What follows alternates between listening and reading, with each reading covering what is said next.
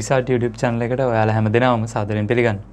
මං අද කතා කරන්න බලාපොරොත්තු වෙන්නේ බිග්ඩියට වීඩියෝ සීරිස් එකේ ඊළඟ එපිසෝඩ් එක. මේ වීඩියෝගේදී මං කතා කරන්න බලාපොරොත්තු වෙන්නේ මැප්‍රඩියස් ගැන. මං කලින් වීඩියෝස් වලදී කිව්ව මේ හඩුප් වල තියෙන ප්‍රොසෙසිං වලට යස් කරන්නේ මැප්‍රඩියස් මොඩල් එක් කියලා. ඉතිං අපි බලමු අද මොකක්ද මේ මැප්‍රඩියස් කියන්නේ කියලා. මම ඕගල්ලන්ට මැප්‍රඩියස් කන්සෙප් එක සරලව පැහැදිලි කරල දෙන්න. යස් කරන්න හිතුවා මේ කාඩ් පැක් එක. කාඩ් පැක් එකේ තියෙන ඉලක්කං විතරක් තියෙන කාඩ්ස් ටික යස් කරලා. අපි බලමු සරලව මොකක්ද මේ මැප්‍රඩියස් කොහොමද වැඩ කරන්න කියලා. එතකොට මේ මංගාව තියෙන්නේ කාඩ් පැක් එකගේ කාඩ්ස් ටික. මේක තියෙන්නේ මේ නම්බර්ස් තියෙන වැලියස් ටික කාඩ්ස් ටික විතරයි. එතකොට මෙතන තියෙනවා මංගාව නෝට්ස් තුනක්. මේ නෝට්ස් තුනට මම මේ කාඩ් පැක් එකේ මේක ශෆල් කරලා තියෙන්නේ. එතකොට පිළිවෙලකට නෑ. මම මේ කාඩ් පැක්කේ කාඩ්ස් uh, මේ විදිහට මේ uh, කොටස් තුනට වෙන් කරන මං කාලින් uh, වීඩියෝකේදී පැහැදිලි කරා HDFS වැඩ කරන විදිහ එතකොට ඒ දේ තමා මෙතන තියෙන්නේ. තකොට එක එක නෝඩ්ස් වල වෙන වෙනම ඩේට සෙව් කරලා තියෙනවා.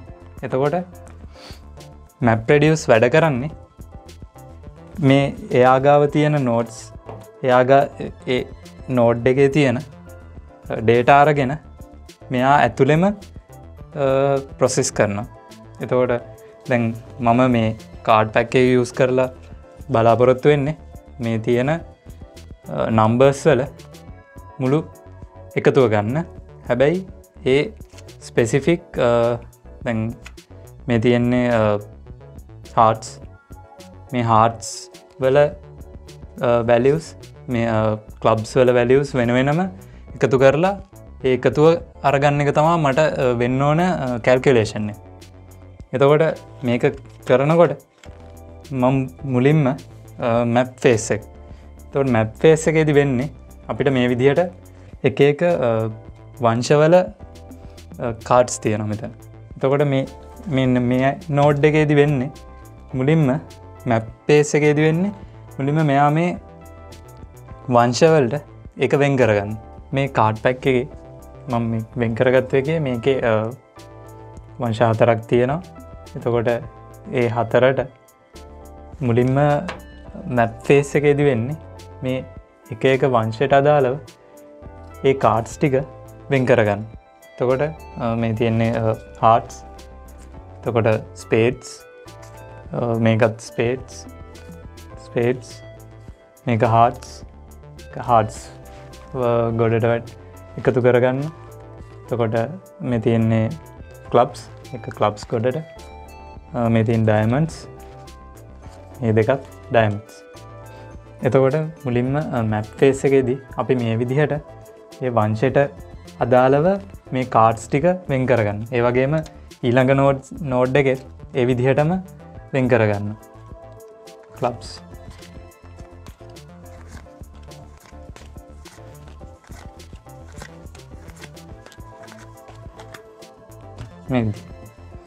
තුන්ගනි නෝඩ් එකෙත් අපි ඒ විදිහටම වෙන් කරගන්න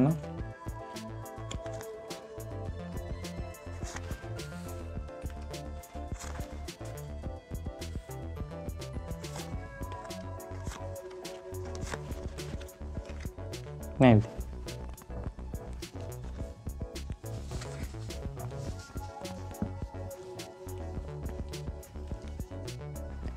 එතකොට අපිට මේ මැප් ෆේස් එකේදී අවට්පුට්ටයක් විදියට ගන්න පුළුව මේ එක එක නෝඩ් එකෙන් එක එක මේ තියෙන්නේ හාටස් හාට්ස්වල්ට අදාළව එකතුව.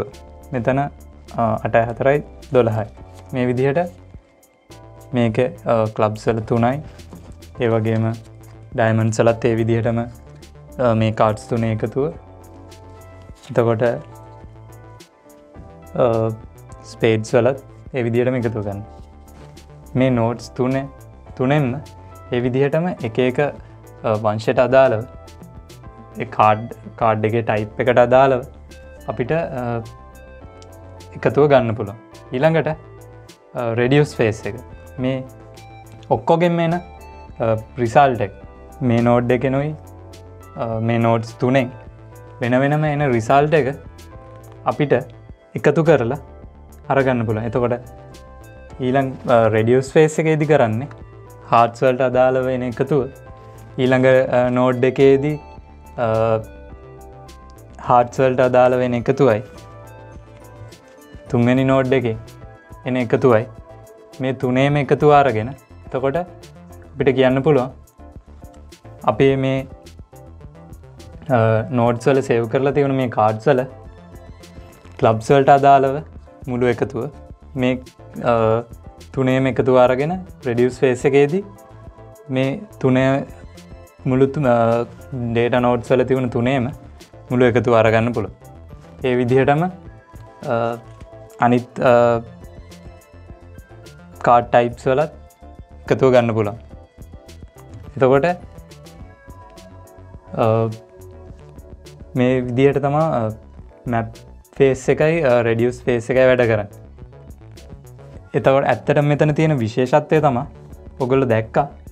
මේකේ ප්‍රොසෙසිං පාට් එක වෙන්නේ ලොකුම ප්‍රොසෙසිං පාට් එක වෙන්නේ මේ ඩේට නෝඩ්ස් ඇතුළෙමයි. එතකොට මේ ඔක්කොම එකට කරන්න ගියොත් අපිට සිද්ධ වෙනවා මේටික ඔක්කෝම එකට අරගෙන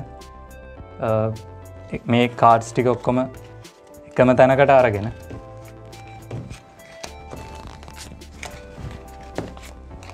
මේ විදියට එතකොට හිතන්න අපි එක කම්පියුට එක නම් මේ කරන්නේ. එතකොට මේ කම්පියුට එක විතරයි අපිට මේ ඔක්කෝම වෙන් කරගන්න වෙන්න. එතකොට මෙතන කාඩ්ස් ගොඩක් තියෙන ඒකට වෙන් කරගන්න.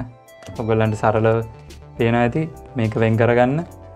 ගොඩක් වෙලා යන හැබැයි මෙතෙන්දී හඩුප්වලදි මැප්‍රඩියස් වැඩ කරන්නේ පැරලලි.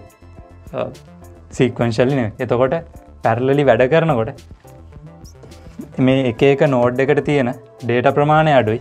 එතකොට එයාට පුළුවන් ඒ තියෙන කුඩා ඩේට ප්‍රමාණය එයාගේ ඇතුළේ ප්‍රොසෙස් කරලා ඉක්මට රිසල්ටයක් කෙලීරද එතකොට මං ඔගොල්ලන්ට කාටපැක්කයක් යස් කරලා මේ සරලව පැහැදිලි කරල දුන්නේ කොහොමද මැප්‍රඩියස් වැඩ කරන්න කියලා.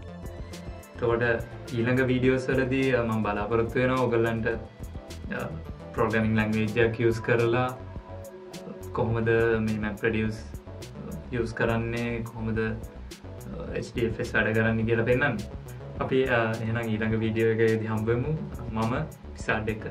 තිසර